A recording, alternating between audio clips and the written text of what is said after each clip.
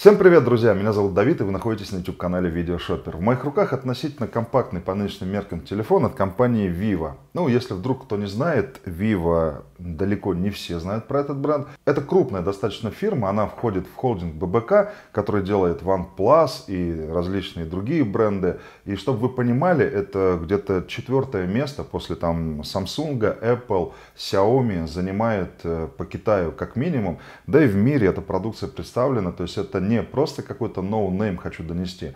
Пусть их немного, но они продаются, они будут продаваться в России. И вот в моих руках Vivo T1. Модель чем интересна? Во-первых, здесь супер экран, достаточно хороший, и яркость у него хорошая, и контрастность, и цветопередача. Притом этот телефон является типичным середнячком. Во-вторых, здесь батарея 5000 мАч, и что очень важно, зарядка 44 Вт, которую поддерживает этот смартфон, она уже идет в комплекте. Это прекрасно. За 28 минут вы сможете зарядить ваш телефон, правда для этого он должен быть переведен либо в режим э, самолета, либо выключен до 50%.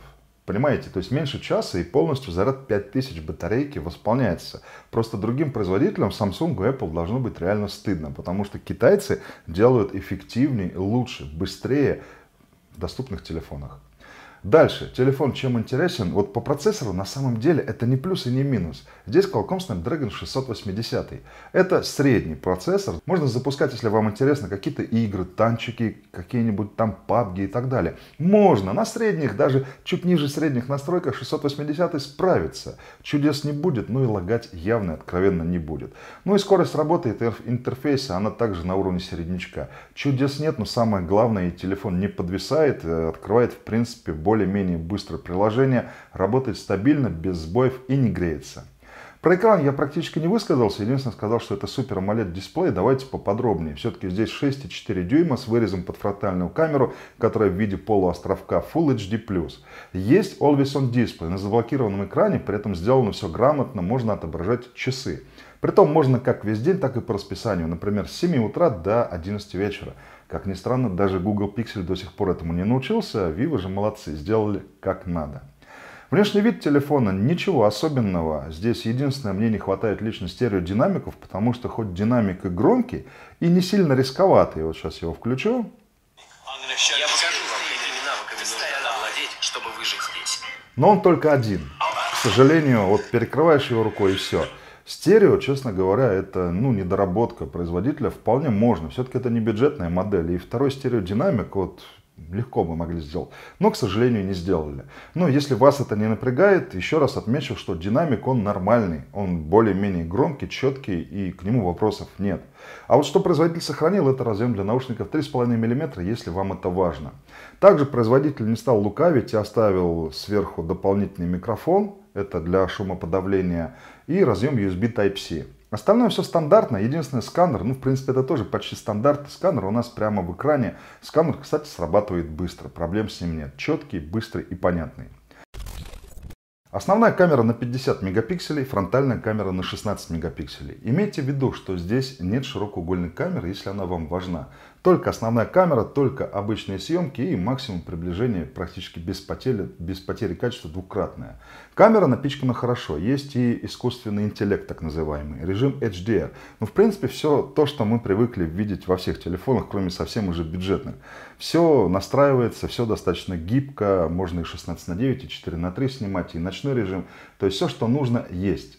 А, единственное, что могу сказать по фотографиям. Они, наверное, для середнячка подходит слово «средние по качеству».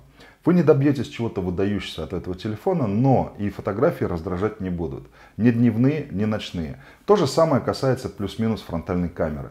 А вот качество видео, единственное, что меня расстроило, но и с другой стороны порадовало. Во-первых, можно выставить э, Full HD только 30 кадров. Если мы ставим Full HD 1080-60, то телефон принудительно сбрасывает нас на HD. Это, конечно, не очень хорошо. Ну, большинство и не заметит, честно говоря.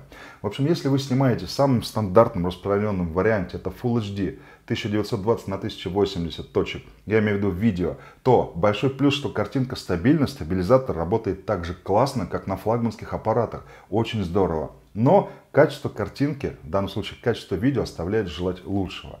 Поэтому я бы сказал, что как камерафон телефон э, не слишком хорош, но за него и не просят каких-то сумасшедших денег.